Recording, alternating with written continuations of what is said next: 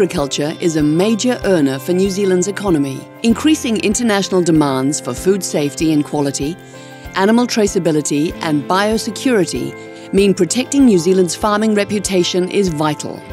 Nowhere more so than in the control of bovine tuberculosis in cattle and deer.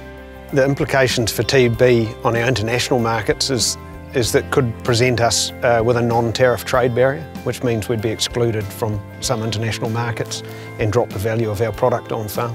OSPRI's TB-free program aims to eradicate bovine TB from New Zealand.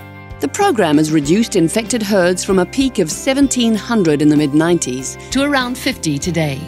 The disease is tackled on three fronts.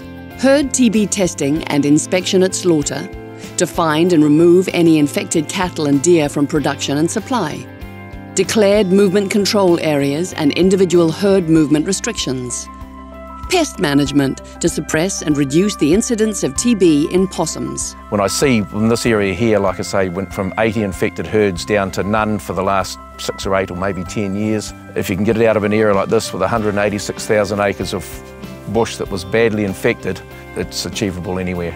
Over recent years, the TB program has progressed ahead of schedule.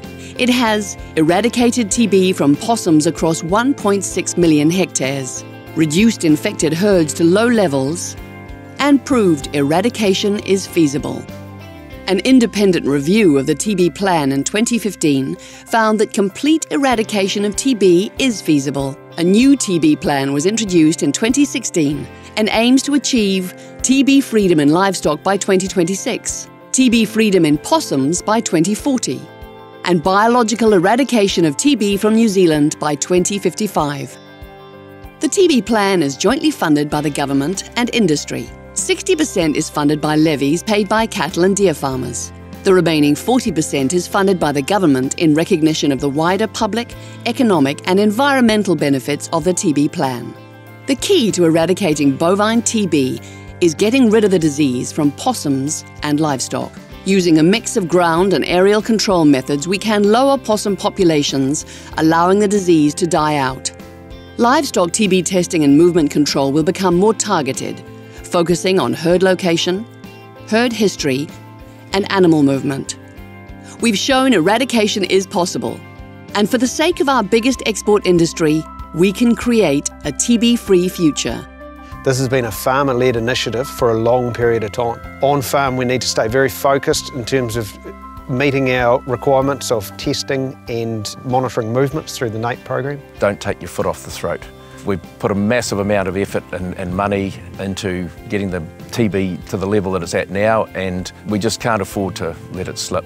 Looking forward for the kids, for them to know that TB doesn't exist anymore in, in the environment is, is huge. It would be a great legacy to leave to uh, the future farming generations coming through. And the most expensive bit of TB to deal with will be that last bacterium and that'll be the one that brings us the best value. We owe it to the generations of farmers who have gone before us who have put millions and millions of dollars and time and effort into trying to eradicate TB to get us to this point and we owe it to the future generations to give them a country that's TB free.